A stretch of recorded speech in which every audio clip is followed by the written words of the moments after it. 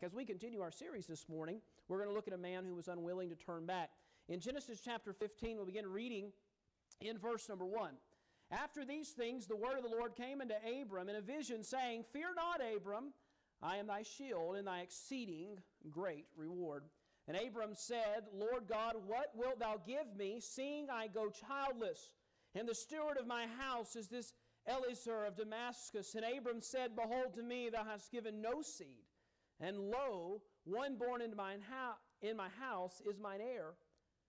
And behold, the word of the Lord came unto him, saying, This shall not be thine heir, but he that shall come forth out of thine own bowels shall be thine heir.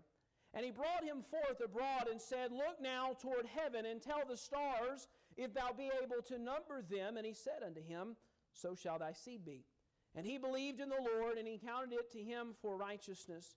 And he said unto the Lord, I and he said unto him, I am the Lord that brought thee out of the Ur of Chaldees to give thee this land to inherit it. Dear my Father, Lord, I ask you this morning that you will use me as a vessel. I pray, Lord, that you'll use me to preach your word and that, Lord, you'll be lifted up and that we will be drawn nigh unto you this morning. I pray, Lord, that you will not allow any distractions to distract us from the message you have for us this morning. I pray, Lord, that you will help me not to refrain from saying any words that you would have said this morning, but Lord, help me not to add any words that you would not have said this morning. And Lord, we ask these things in your name. Amen. Story has it that J. Hudson Taylor, and some of you may be familiar with that name, he was a missionary of old who went to China. In fact, he was one of the early missionaries ever to go to China, and he began a mission board called the China Inland Mission. While filling out the application to, to really apply to use a bank, he, he wrote down this as his assets. They asked him, please list your assets. His assets was this 10 pounds, which is the way they count money there in England, 10 pounds and the promises of God. This morning, I want to preach to you on, the on a sermon entitled God's Promises in the Way as we continue our series of walking in the way. As we look here in the book of Genesis, chapter 15, where we find our place this morning, Last Sunday we preached on Genesis 14. In Genesis 14, we find Abraham went out. Uh, uh, I'm sorry, Abraham was where he was still placed from Genesis chapter 13. Uh, he was enjoying peace, he was enjoying prosperity as he was where God would have him be. But at the beginning of Genesis chapter 14, we find a story that if you don't slow down and read and, and figure out what's going on there, if you read it quickly, you'll gloss over what just happened. This is what happened in Genesis chapter 14. There were four very powerful kings who ultimately subjected five less powerful kings. They were subjected to where ultimately it was like they would have to pay tribute, they'd have to give of their goods and services. And they did this for 12 years. Finally, after 12 years, the five kings had had enough of serving the four kings. And so they rebelled in the 13th year. For a year, there was rebellion going on. In the beginning of the 14th year, Chedorlaomer, who was the strongest of the four kings, and the other three kings came ultimately to do battle with the five kings. They were going to get what was owed to them. And sure enough, as the four kings traveled to go fight the five kings, they defeated many other kings, uh, or several other, other people. And as they got there, sure enough, they whipped the five kings. They and their people fled into the hills, some of them falling into slime pits. Well, while the king of Sodom was, was hiding, they came, the four kings came and plundered of all the things, and they took with them Abram's nephew, Lot, and along with a lot of possessions, and they went off. One of the men escaped, came to Abram, and told Abram what had happened. Abram, with 318 trained servants, went and took care of business, got Lot back, and they came back. He met with Melchizedek, king of Salem, and he met with the king of Sodom, who was a wicked, uh, wicked king. And we find that even in the midst of victory, he was humble. And because God had gave him the victory, he paid a tithe to God, and he took the blessings of God, and he refused the blessings of the wicked king.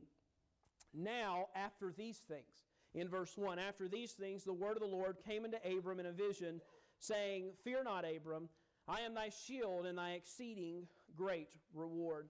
Can I say in introduction this morning, every step in our journey of walking in the way that the Lord would have us walk in is a journey. It's a journey of faith. It takes faith, and our faith is in the promises of God. Now, here in chapter 15, chapter 15 is a very pivotal point in the story of Abram. In fact, it's pivotal for a couple reasons. One, it's pivotal because it changes Abram's future of what he understood of his future, but most importantly, it begins to show us God's redemption plan for you and I. And as we look here this morning, I want us to see some things that God promised to Abram, but I also want to see uh, through these passages and through some other passages in the Bible what God too has for you and what God has for me. As we find here at the beginning of chapter 15, we find that God promises Abram some very specific things. In the first verse, we find here after these things, after dealing with going back and fighting and, and getting Lot back and getting his family back, after paying the tithe to Melchizedek and receiving the blessing of God and, and staying humble and refusing the spoils of the wicked uh, king, King Sodom, we find here God coming to Abram. In fact, in this passage is the first conversation we find between God and Abram. In the midst of this, we find that God specifically tells him in this vision to fear not. Can I say to you this morning, this isn't a new thing? As you study throughout the Bible, we find oftentimes when God appears through a vision or an angel appears, the first thing God says is to fear not. When God was speaking to Joshua in the book of Joshua, he tells him to fear not. And can I tell you this morning, God does not want you to be in a state of fear. And God does not want me to be in the state of fear. In fact, the Bible tells us, For God hath not given us a spirit of fear, but of power and of love and of a sound mind. The Bible tells us, Fear not, neither be dismayed, for the Lord thy God, he it is that doeth go with thee. Can I tell you this morning, if you're sitting here this morning and you have fear, I don't know what the fears may be from. Can I say the fears are not from God? Throughout His Word, He tells us to fear not. Can I say that if we just get in His way and walk in the path that He's given us, He will deliver us through? There may be times where it may seem difficult. There may be times when it may seem dark, but God does not want us to fear because you realize when we're walking in His way, there's nothing to fear because we know that all things work together for the good to them that love God and to them who are called according to His purpose. And as we find here, God comes to Abram and tells him to fear not. And I believe one of the reasons he tells them to fear not is what is to follow as we begin to look at the promises of God. Number one, he says, Fear not, Abram, I am thy shield. God promises Abraham here his protection. Now, understand, the fighting in those days was off uh, quite a bit off from how fighting is today. Today, hand to hand combat is more of a rarity. Today, you can have somebody sitting in Wyoming in a trailer with a remote control, and they can fly a drone thousands of miles away and do all sorts of stuff. A lot of our fighting today with different countries and other countries, the way they fight as well, you know, you've got rockets, you've got guns, you've got grenades.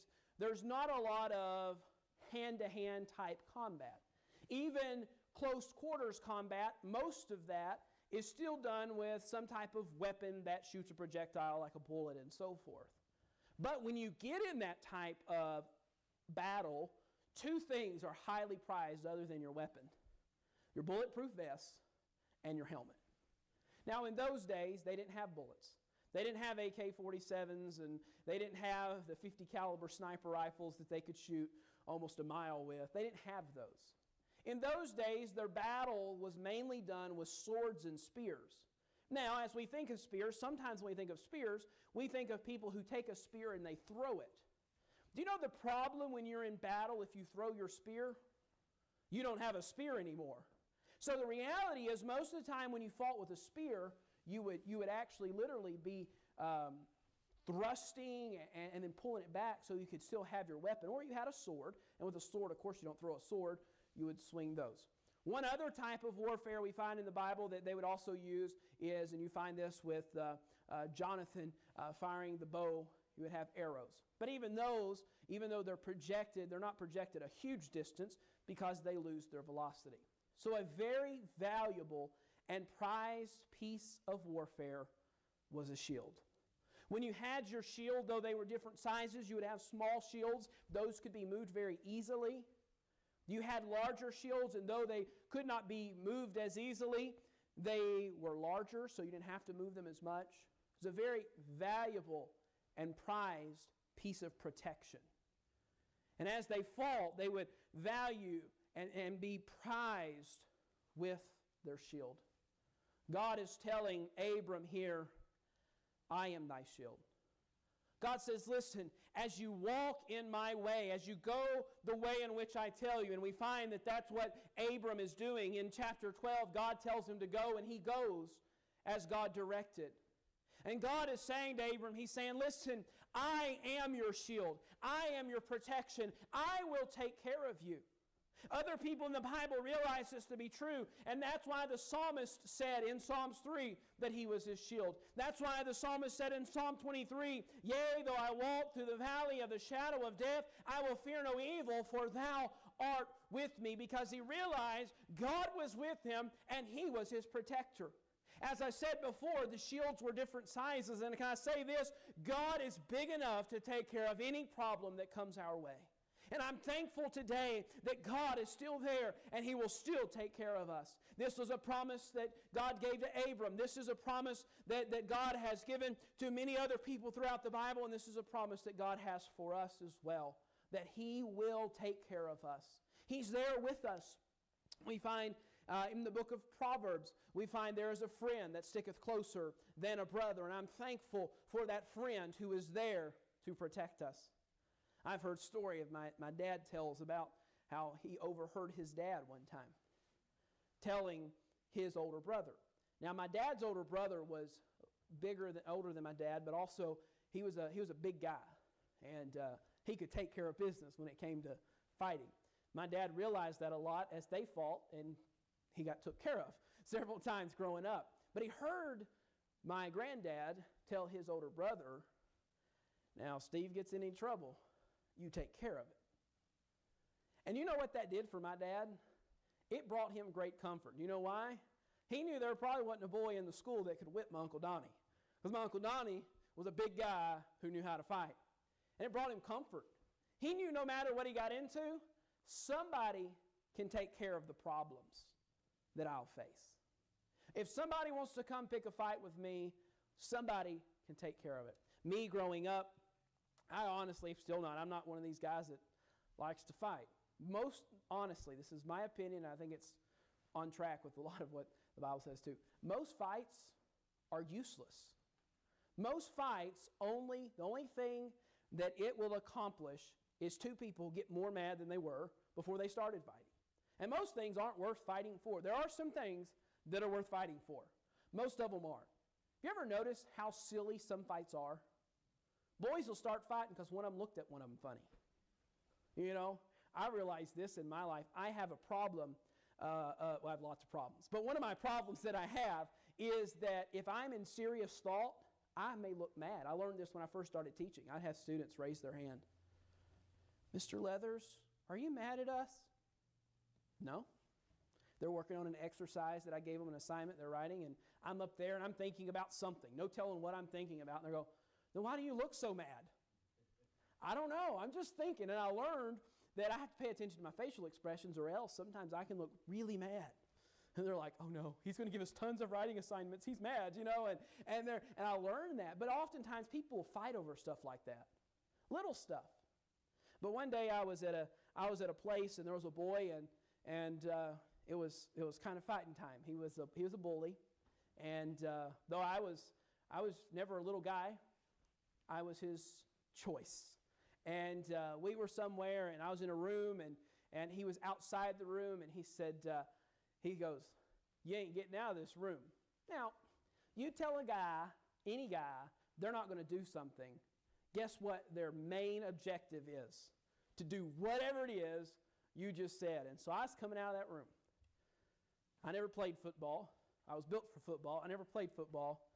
But I channeled my inner defensive linebacker. And I took off and I went to go through that door. Well, the boy was a smart bully, About the time that I got to the door, he swings open the door.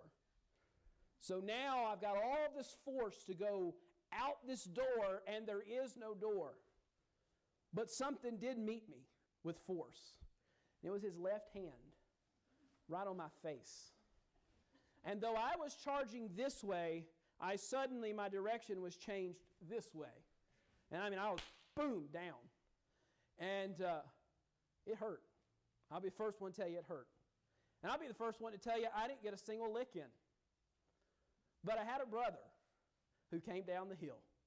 Before I could even get up off the ground, he was down the hill. And my brother was small, but my brother was stout, and my brother knew how to take care of business. And then it was all taken care of. I tell you what, it was comforting me, to me to know that there, though there was somebody bigger than me, and the guy was bigger than me, though he was bigger than me, and it was for some reason his goal to mess with me, it was nice to know that somebody was coming that had my back. Can I say this? There's a devil out there that's bigger than you. And there's a devil out there that's bigger than me. I, I understand what some people are saying when they say it, but, but uh, uh, I, am careful with this thing of devil bring it on. The devil's bigger than I. And the devil can whip the soup out of me. I know that. But there's a friend that sticking closer than a brother. See, my brother, I had to wait for him to come down the hill. I had to go through getting my lights knocked out. I had to walk around for a while with a shadow on my face. I'll never forget when I first saw my mom. She's like, oh, you know how she does. You know, you know how mamas do. You know, and oh, what happened? This was like three days later, you know, because I was gone. I was gone somewhere, and, I, and sometimes guys can be dumb. Okay, what? what? I had a shiner on my face, you know, and she's like, "Oh, are you okay?" Nope, I'm dying. Moms are fun to mess with too. And uh, but you know, I still had to walk around with the shiner on my face. I still had to walk around with the shame, and for a while it was shame. It's been too long now. Now it's a story that I use, but for a while it was shame. You know, I got got a big shiner and black eye and so forth. I had to wait for my brother to get there. But there's a friend that sticketh closer than a brother. You don't have to wait on him because he's there. Can I say to you this morning, you don't have to fear because God promises for you and I, if we'll simply stay in his way, there's a protection there. Now, I want to point this out. You have to stay behind the shield. You know, a soldier can have the biggest, you know, I could have a shield here, and this wasn't uncommon in some types of warfare. I could have a shield here that was this high, that I could pick up and it could cover me com- almost completely except for my feet, my ankles, but if I put it down, I could see over it. I could have that large shield that was impenetrable. I could have that, and it do me no good if I'm not behind it. Can I say this? You need to be in the way. You see, too often, you know, when we get hurt, when we get injured, when we get out of the way, we go and try to do our own thing and we leave God behind in the sense. God's still there. He's waiting for us to, to come back to Him. But the reality is this we get out of the way, stay behind the shield, and you have no reason to fear. For God hath not given us the spirit of fear, but of power and of love and of sound mind. How can we have power? My dad, the story I told you just a minute ago about hearing his that his brother was going to be taking care of him, hearing that, he said it brought to him some comfort, knowing that if anybody wanted to pick on him, he was there. He goes, But I could walk around school just a little bit taller and a little bit stronger, knowing that, hey, he's got my back. Can I say this?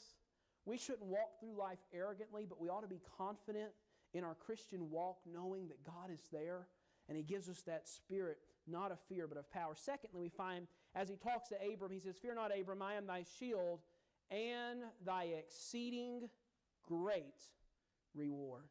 Not only did God offer to him this shield, but he offered to him a great reward. Can I say this? God offers a great reward.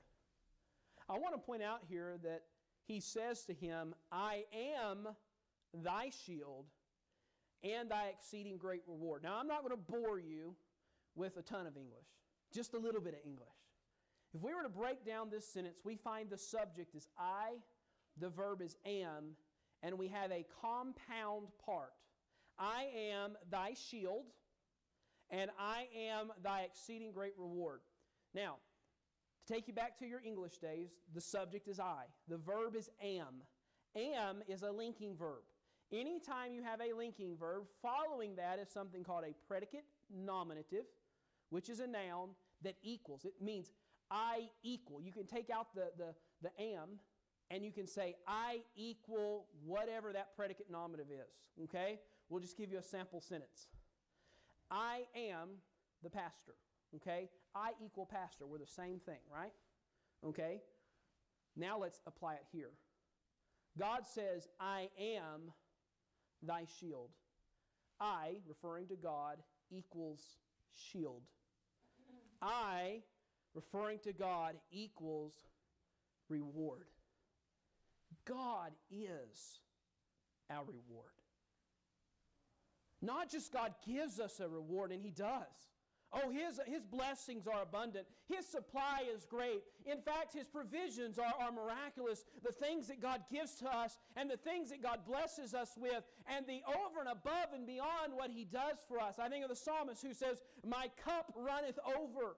You know what he's saying? He, he's saying, I've been given more than I can even handle. The psalmist also says, I have been young and now I'm old, and I've never seen the righteous forsaking, nor his seed begging for bread. See, God gives us an abundance. God gives us supplies, and, and we're so thankful for the blessings that God gives us, the health that God gives us, the what money we have that God gives us, and the supplies that He gives us, and, and the opportunities that He gives us. I think of the church that He gives us, and, and all the blessings that He gives us. But our reward is Christ.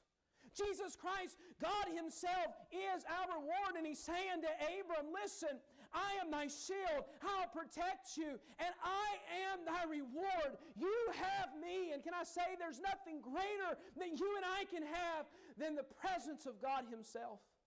You know, sometimes people will call here and say, you know, what does your church have to offer? And I understand what they're saying. They're saying, you know, what all do you do? A lot of churches do a lot of different things. Some churches just have Sunday morning services. Some have three times a week. We have Sunday morning, Sunday night, Wednesday night. What all do you have to offer? What can I do? Some people want to know what can they do. Can I say this? Pastors always have something you can do. And if you're here this morning going, man, I want to do something, just come see me. I've got plenty to do that you can do and, and work. But oftentimes they're wondering, what do you have in addition to what's normal that you can do? What do you have for the kids? And so I explained, what do we have for the kids? We have Sunday school, we have junior church, and so forth.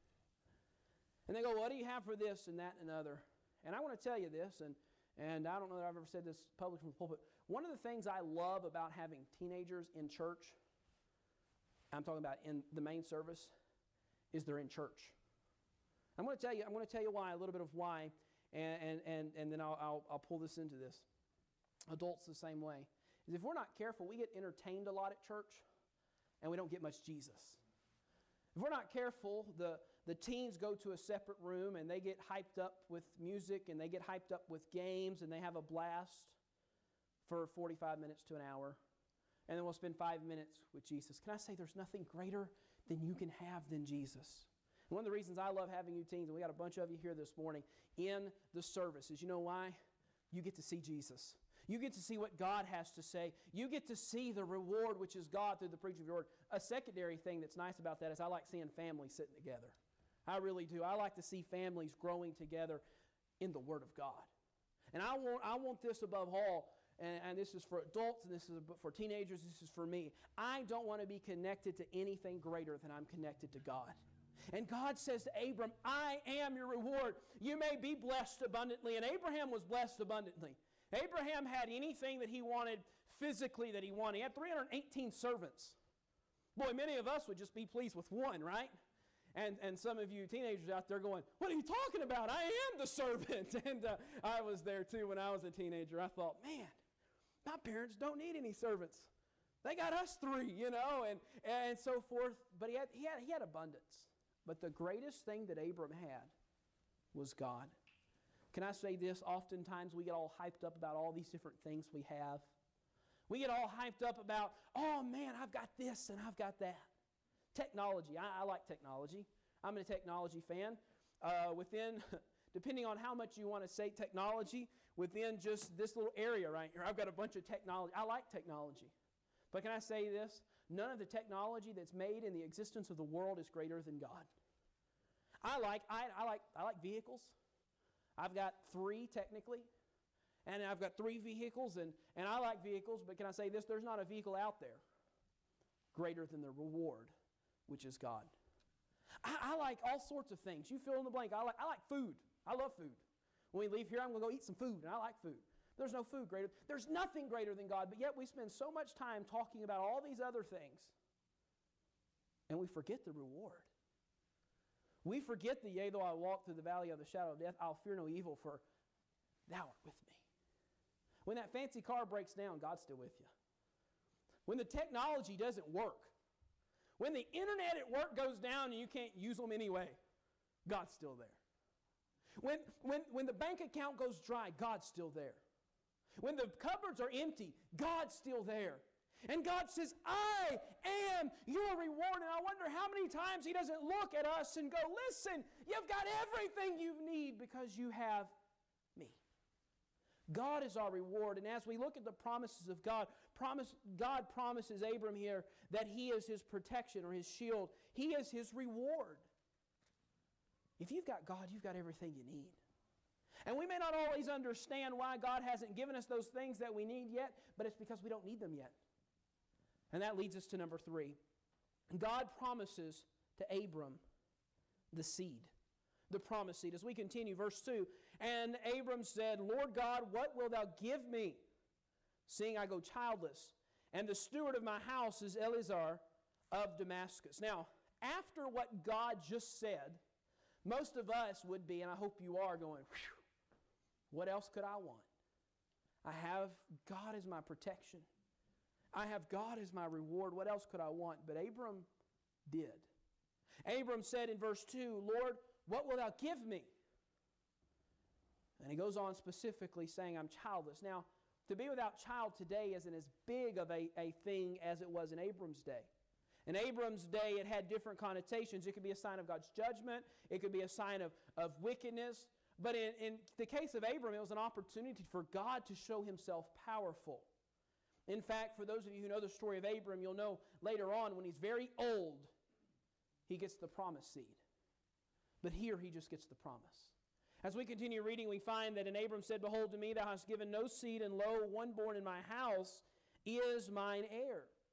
Abram says, Listen, I don't have a child. And ultimately he's saying, Should I just, should I just give everything, adopt Eleazar, who's my servant, and give it to him? Because in those days, if you didn't have a child, you would basically adopt one of your servants as your own, and they would become an heir. But God says to him, No. The Lord, behold, the Lord came unto him, saying, This shall not be thine heir, but he that shall come forth out of thine own bowels shall be thine heir. God says, No, no, no, no, no. You're going to have an heir, but he's going to be your own son. And then we jump to verse number 5. And he brought him forth abroad and said, Look now toward heaven, and tell the stars, if thou be able to number them. And he said unto him, So shall thy seed be. So he takes Abram, he takes him outside, and he says, Look, you look up and see the stars, and I can almost picture probably how it was a few nights ago, uh, maybe a week ago. We had a night that was so clear. It was abnormally clear for a winter night. I mean, it was just so, so clear, and the stars. I mean, my, my dad, he, he knows all the stars. You know, there's the Seven Sisters and the Big Dipper and all that. And, and uh, he's like, man, you can see them all tonight. Whew. I can imagine being Abram going out, God's taking him out, and seeing the beauty of the stars. It reminds me of a quick story of a Lone Ranger and Tonto. You know, Lone Ranger and Tonto? Yes, Kemosabe. And, and uh, they went out and they had set up their tent. And they tied Silver, and I forget Tonto's horse's name, but uh, tied him over there to the tree, and they got in the tent for the, to camp out for the night. And middle of the night, Lone Ranger wakes up and he sees the stars. And so he elbowed Tonto and he says, Tonto, do you see the stars? He goes, Yes, Kemosabe. He says, What does that mean to you? And he goes, Well, as a meteorologist, means it's not going to rain. He says, As a Christian, means God's pretty awesome with what He does and what He creates, and it's beautiful. He says, What does it mean to you, Kemosabe? He says, It means somebody stole our tent in the middle of the night.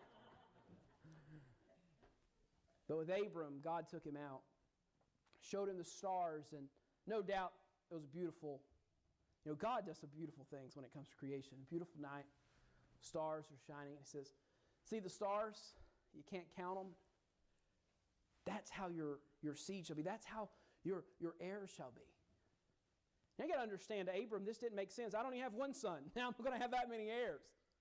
How, how is my seed going to expand to where there's so many if I don't even have one?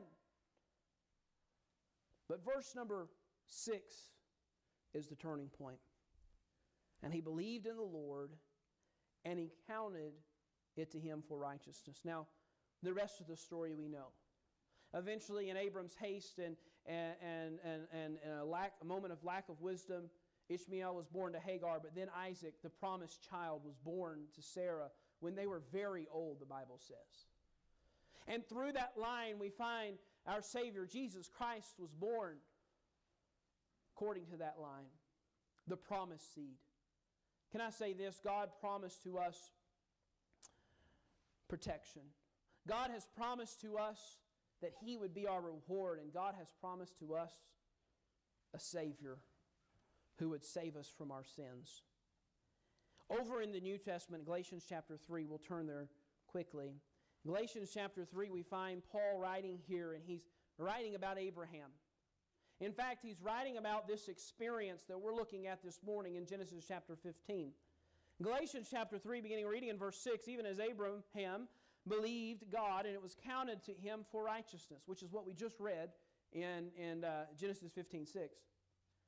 Know ye therefore that they which are of faith, the same are the children of Abraham. And the scripture foreseeing that God would justify the heathen through faith, preached before the gospel unto Abraham, saying, In thee shall all nations be blessed. So then they which be of faith are blessed with faithful Abraham. For as many as are of the works of the law are under the curse, for it is written, Cursed is everyone that continueth not in the things which are written in the book of the law to do them. But no man is justified by the law in the sight of God. It is evident, for the just shall live by faith.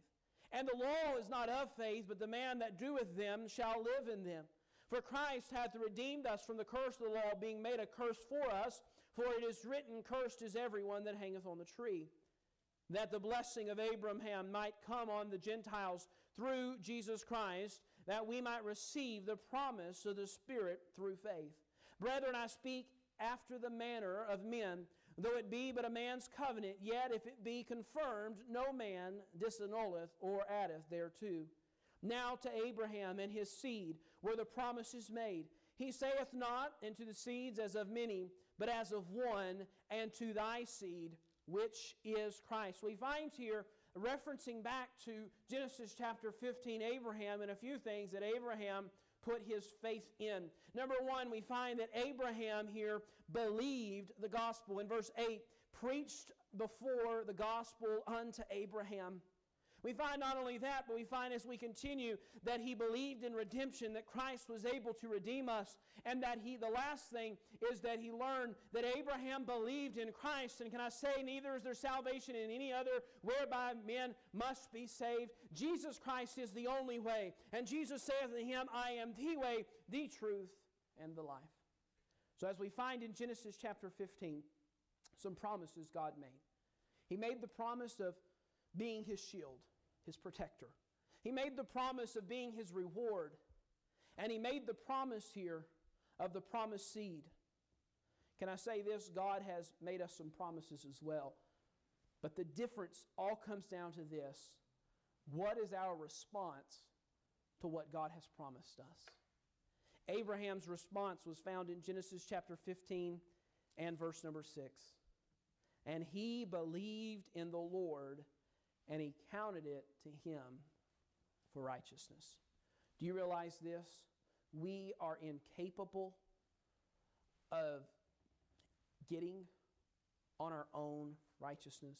You see, the Bible says, and all have sinned and come short of the glory of God. No matter how good our works are before people, no matter how great they are, the Bible says our righteousness, our righteousness is as filthy rags. Compared to the holiness of God is disgusting. And only God can make a person righteous. And the way He, he made a way so that we could be righteous in the eyes of God is through that promise seed, Jesus Christ. And that's the way that, that He made it possible for you and I is Jesus Christ left the Holy of Holies of heaven and He descended down to earth and He put on the form of a servant. He put on man, which He created, and He lived a perfect life. And he went to an old rugged cross and he died on a cross there for you and I, paying the price for our sin. He was buried, and for three days he lay in a borrowed tomb, but three days later he arose triumphant over death, hell, and the grave. And he did that so when you and I could be righteous in the eyes of God. But still, the question comes down to this What's your response to that truth? Do you put your faith in Jesus Christ, or do you cling to the things of man? I like how one of the hymns of faith describe it. He says, the author writes, My hope is built on nothing less than Jesus' blood and righteousness. I dare not trust the sweetest frame, but wholly lean on Jesus' name. Oh, when he shall come with trumpet sound, oh, may I then in him be found, dressed in his righteousness alone. Faultless to stand before the throne. On Christ the solid rock I stand. All other ground, all other ground is sinking sand. As we walk in the way, God has given us His promises. And, and can I say, this Bible is filled with the promises of God. But what's our response? Do we believe?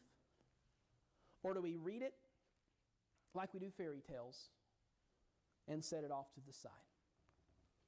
My daughter has lots of books. She likes books. And different times she'll come over to me. I'll be doing something and she'll come over and, Daddy. So I'll stop whatever I'm doing. I'll get the book and I'll read the book for. Mama Llama Red Pajama reads a story with his mama. And unfortunately, I've got many of them almost memorized. My wife has all of them almost memorized. But, and I'll read the story. Baby Llama, what a tizzy. Sometimes Mama's very busy. And that's, that was her favorite for a long time. And I'll read her the story. And then we're done with the story and we toss it to the side. And it's a made up story. It has no really impact or change in my life or her life. It's just a story. This is much more than just a story. This is life changing. And whether or not, you know, we get all the way through and we believe that Mama Llama's talk on the phone or not, makes no impact on eternity. But what we do with the promises of God does. So I ask you this morning, what will you do with the promises of God.